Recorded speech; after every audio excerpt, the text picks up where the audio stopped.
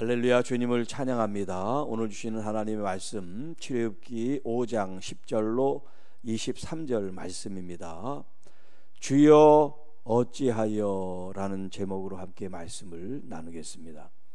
자, 우리 지난 시간에 1절부터 9절 말씀 아, 모세와 아론이 이제 이집트 어, 어, 왕 바로에게 나가서 하나님의 말씀을 전할 때 그가 여호와가 누구신지 또 너희들이 일하기 싫어서 게을러서 이제 이 땅을 떠나려고 한다고 그렇게 생각을 해서 오히려 더 그들에게 고역을 더 가중시켜서 그런 잡생각을 하지 못하게 이제 명령을 내리죠. 자, 이제 이 10절부터는 그 이야기가 이제 본격적으로 어, 시작이 되고 있는데요. 자, 지난 시간에 제가 하나님의 말씀에 순종을 할 때 더 상황이 나빠지고 고통이 더 가중되고 이렇게 힘들 때가 있을 때 어떻게 해야 될까 하는 말씀을 같이 나눴는데 사실 어제 드린 말씀은 초신자들이나 믿음이 연약한 사람들이 받아들이기가 그렇게 쉽지 않을 겁니다. 신앙생활을 오래 하고 또 더 좀더 신앙생활을 어, 깊이 하기를 원하는 사람들은 은혜를 받고 힘을 얻을 수 있지만 믿음이 연약한 사람들은 그 말씀에 어떤 힘을 얻기보다는 더 힘들어지는 그런 모습을 하지 않았을까 그런 생각을 하게 되는데 오늘 이 본문 말씀에서 오늘 그분들에게 제가 위로의 말씀을 좀 전하고 싶습니다. 자, 백성의 감독들과 기록원들이 나가서 백성에 말하여 이르되 바로가 이렇게 말하기를 바로는 이제 이집트의 왕이죠. 그 애굽의 왕의 명령을 지금 전하고 있는 거예요.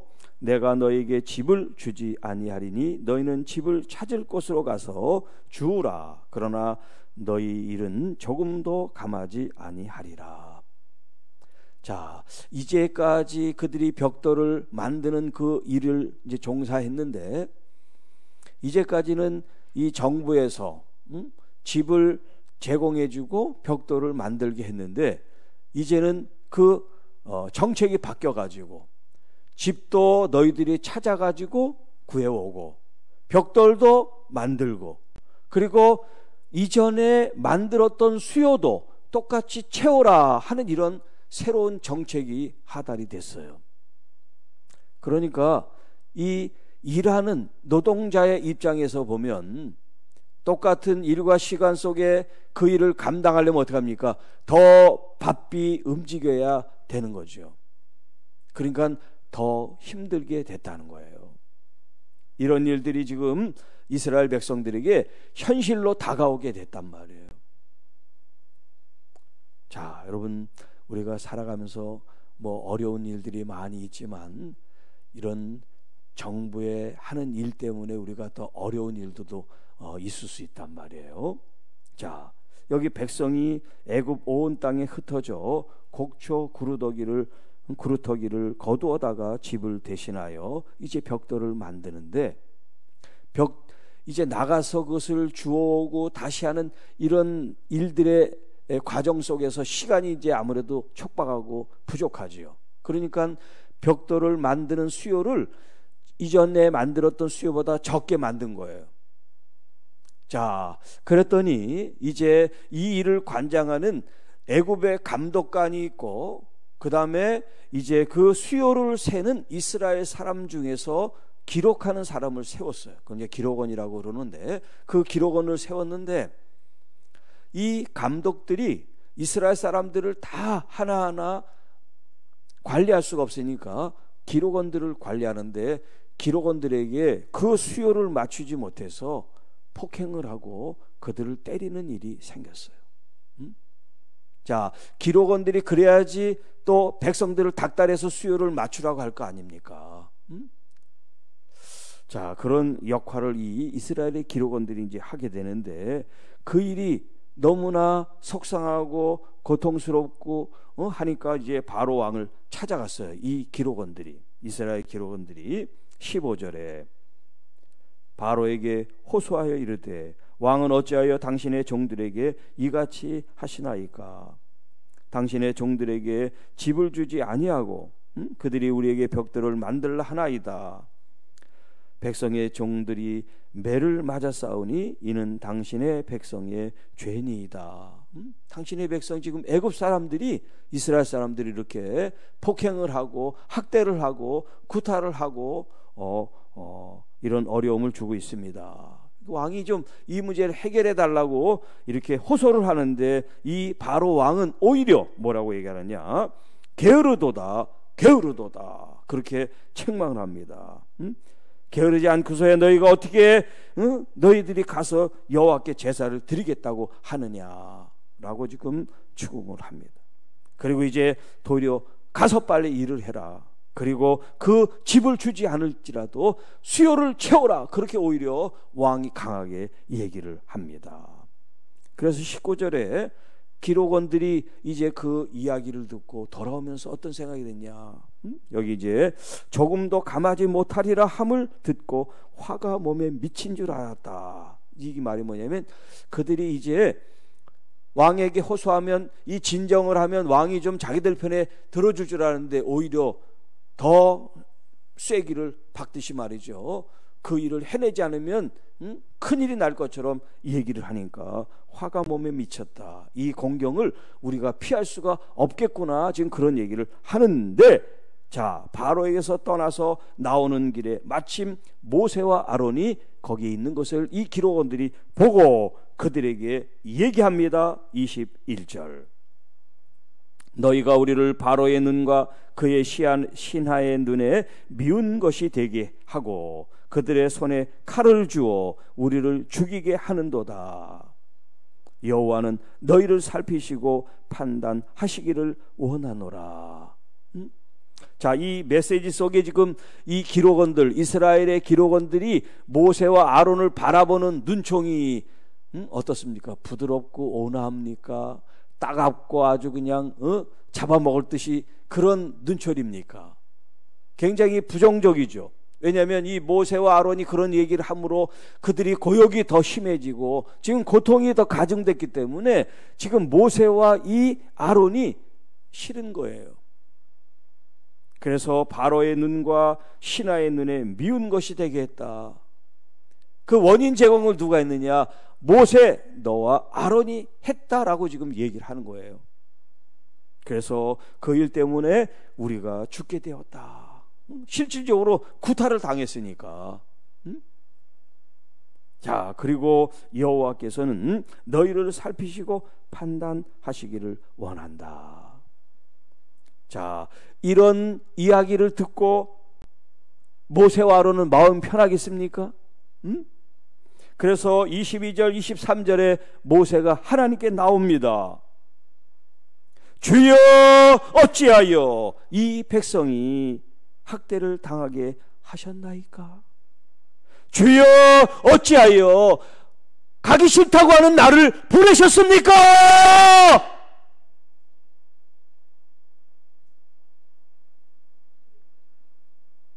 내가 바로에게 들어가서 주의 이름으로 만한 후로부터 바로 그가 이 백성을 더 학대하며 주께서도 주의 백성을 구원하지 아니하고 있지 않습니까?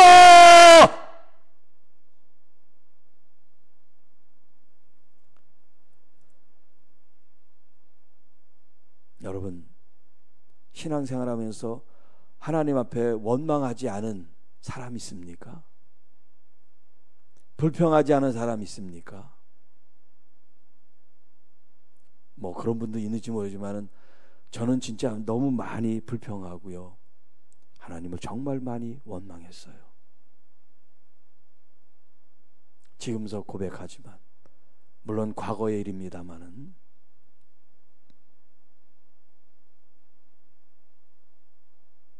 제가 어제 말씀을 전하고 제 입장이 아니라 또 원망하는 그런 사람들도 있을 텐데 그럼 그 사람들은 신앙생활을 그러면 못하는 건가? 아니라는 거예요. 오늘 이 말씀 속에서 하나님께서 저에게 이런 응답이랄까? 감동이랄까? 원망도 신앙의 한 부분이다 하는 거예요. 이게 좀 난해할 수도 있는데 모세가 여기 지금 이렇게 하나님께 대드는 기도를 하고 왜 나를 보냈냐고 따지고 하는 이거로 끝났으면 제가 이런 얘기를 안 해요. 그런데 모세가 어땠습니까?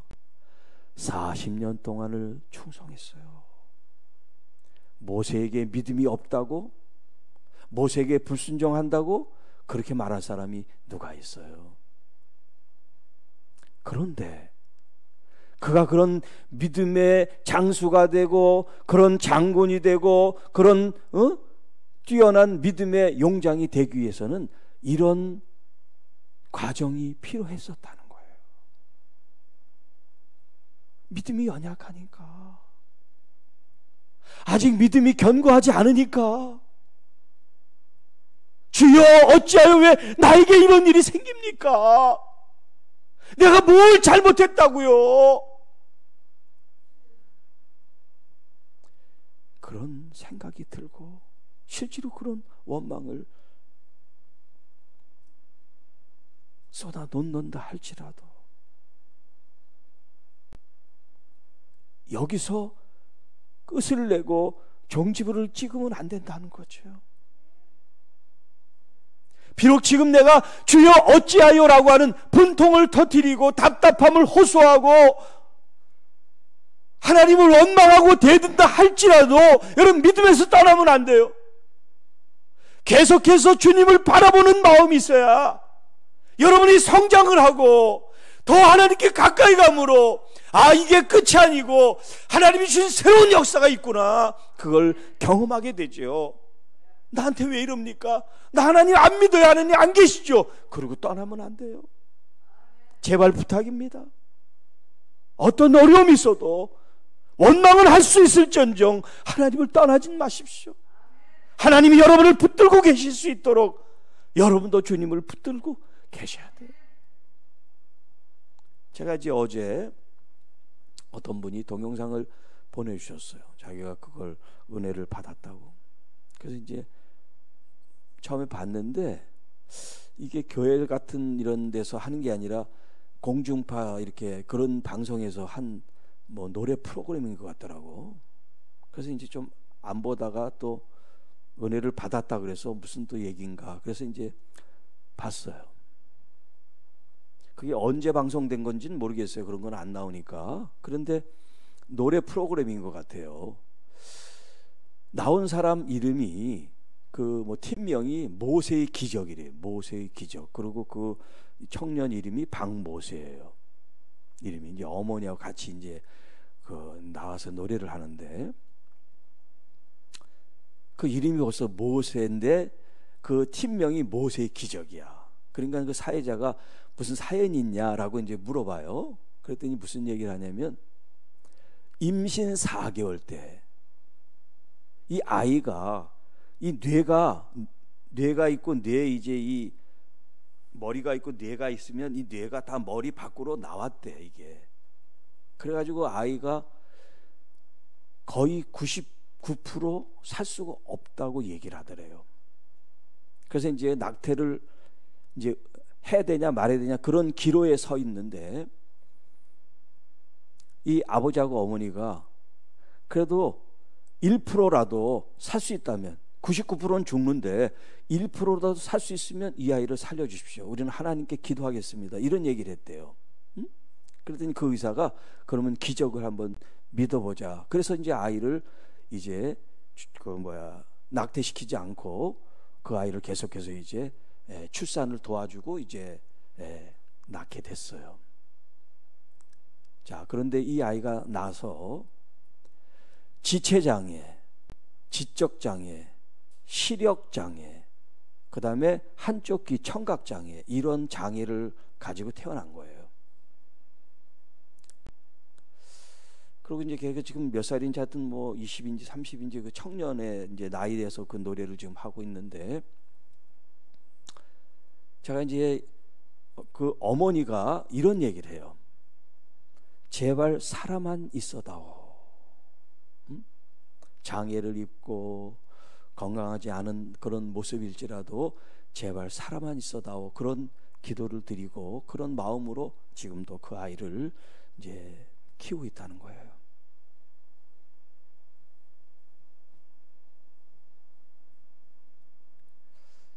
물론 그분이 하나님을 원망했는지 안 했는지 뭐 그런 얘기는 안 나오죠. 뭐 상관없어. 원망을 했든 안 했든. 이 아이의 엄마 사람만 있어다오. 사람만 있어다오. 그게 하나님의 음성처럼 들려요. 나를 원망해도 좋아. 나를 떠나지만 말아라. 여러분 때로는 우리가 시간이 필요해요. 그런 장애를 입고 있는 아이를 평생 키우고 있는 이 어머니의 마음은 얼마나 아프고 쓰리고 고통을 받고 있겠어요. 그런데 그 아이가 살아있단 말이에요. 그리고 노래를 얼마나 잘하는지 몰라. 그 사회자가 사회자가 누군가 이렇게 소원이 뭐냐 뭐냐고 물어봤어. 소원이 뭐냐고. 응? 아이가 소원이 있을까 아니면 좀 어? 내가 좀 건강한 몸을 갖고 싶어요 라든지 좀 그런 얘기를 했으면 좋은데 그런 얘기 아니에요. 뭐 사회자나 여러분들이 오래 건강하고 행복하시기 바랍니다. 그런 소원을 얘기를 하는 거야.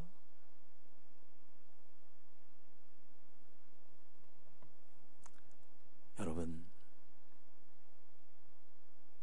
모세가 원망했어요. 하나님 나 왜 이래 끌어들여서 이렇게 괴롭게 만드십니까? 그리고 우리 백성들 왜 이렇게 힘들게 만드세요? 그리고 하나님 구원하지도 않고 계시니까 너무너무 답답하고 괴로워요. 고쳐주실 듯 말 듯 왜 이렇게 이 고통이 연속되고 끝나지 않는 겁니까? 주여 어찌하여 이런 기도가 절로 나올 때가 얼마나 많이 있습니까? 그런데 여러분 이게 끝이 아니에요. 끝이 아니라 우리 주님께서 여러분들을 붙잡고 계시고 여러분들이 주님을 붙잡고 계시다면 우리의 인생은 이렇게 끝나지 않는다는 거.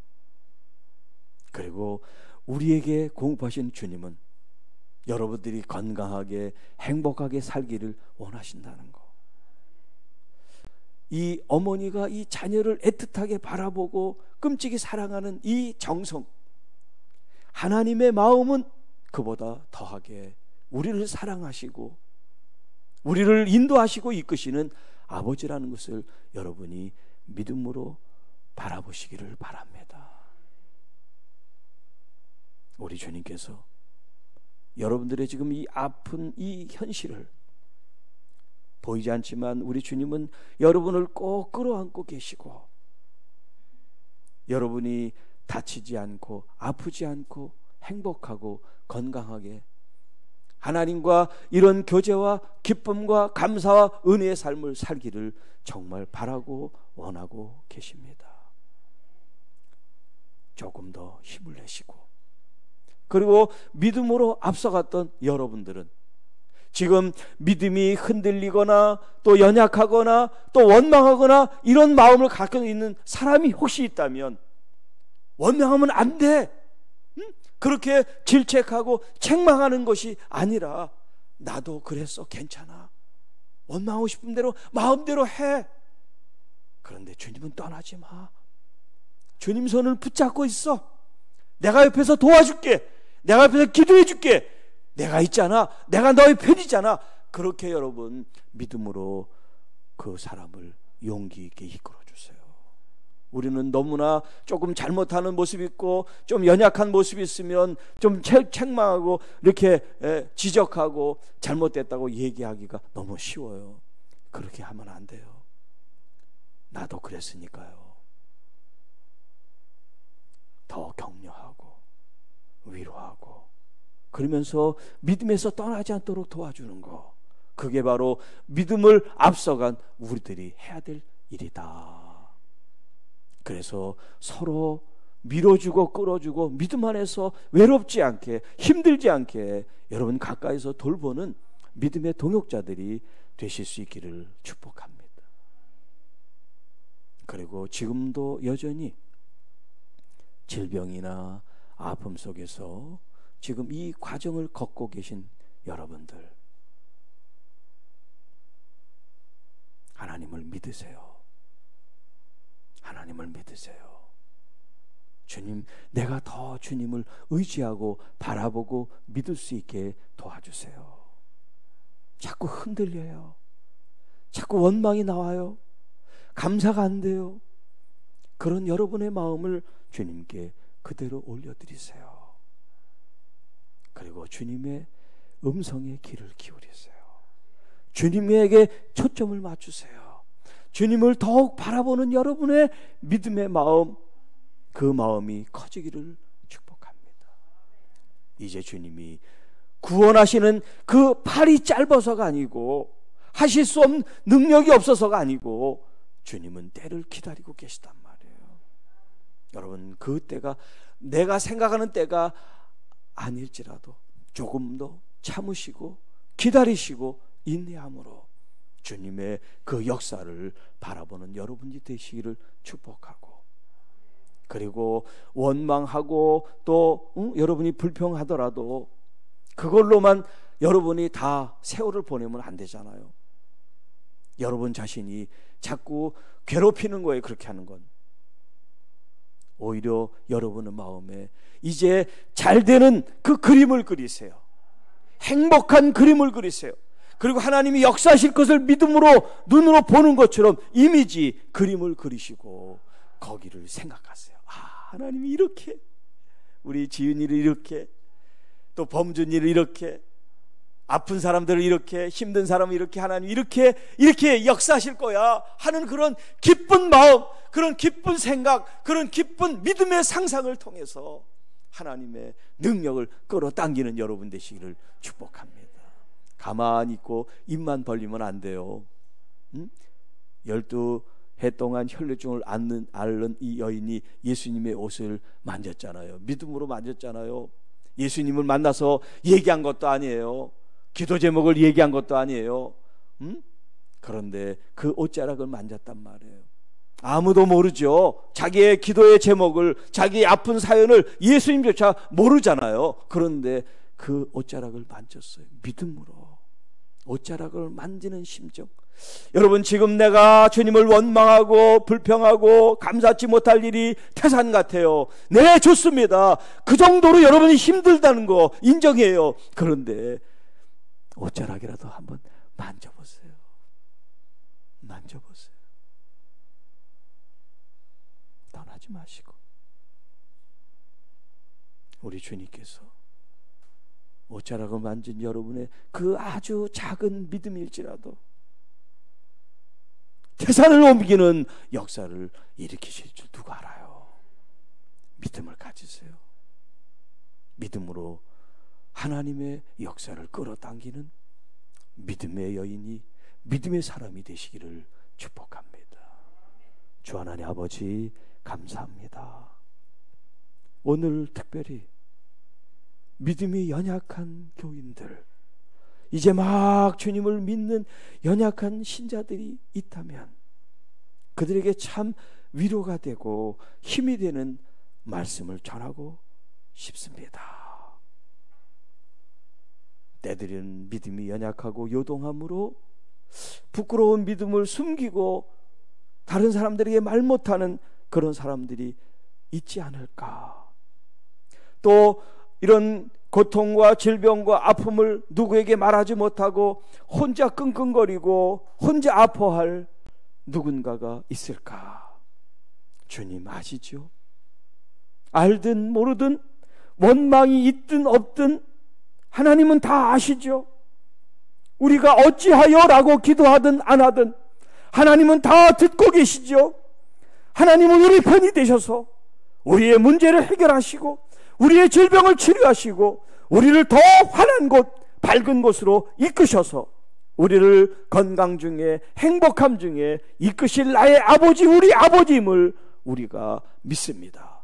도와주시고 역사하시고 구원하시고 하나님의 때 하나님의 역사를 이루시는 하나님인 것을 주님 우리가 깨달아 알 수 있게 하시고 우리 속에 있는 믿음을 일으켜 주님의 옷자락이라도 잡을 수 있는 마음을 허락하셔서 주 예수 그리스도로부터 능력이 빠져나갔다라는 주의 역사가 우리와 함께 있게 하옵소서.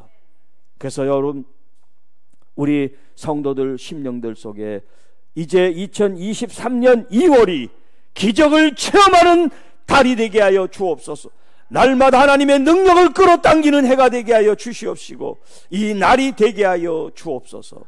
그래서 기쁨과 감사와 영광을 우리 주님께 올려 드릴 수 있도록 이끌어 주옵소서. 우리 구주 예수님의 이름으로 감사하며 축복하며 기도하옵나이다.